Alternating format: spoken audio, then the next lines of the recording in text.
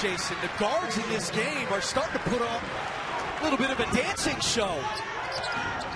And Frazier is eight career double figure scoring games, three in the last 10. And we'll go the other way on the offensive foul on Tazinski, and that's his second.